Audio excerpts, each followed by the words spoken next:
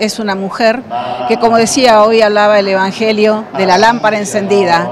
Ella encendió la lámpara hace 250 años precisamente acá, en tierra jujeña, de manera tal que yo estoy muy contenta de que se pueda dar esa relación que es casual, o más bien porque ella quiere que así sea. Porque yo hace dos meses, cuando todavía no se hablaba de la aprobación del milagro, ya había planificado esta visita que comenzó en Salta, comenzó en Orán, donde ella estuvo en el escuadrón de gendarmería, luego fue a la parroquia de San Antonio, de allí quiso seguir caminando. Fíjese, una misión que comenzó siendo dentro de, de, los destacamentos de las unidades de gendarmería, se fue a las parroquias.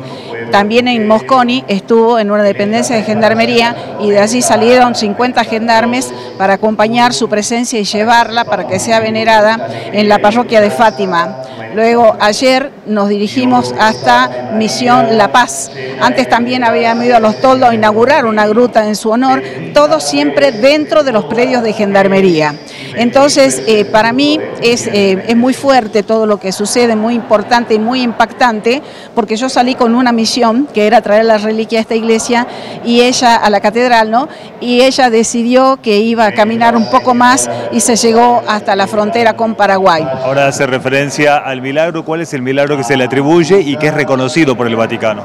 El primer milagro fue de una hermana de la congregación que se crea a partir de la existencia y del trabajo de ella en la Santa Casa de Ejercicios Espirituales que ella logra conformar en el año 1795.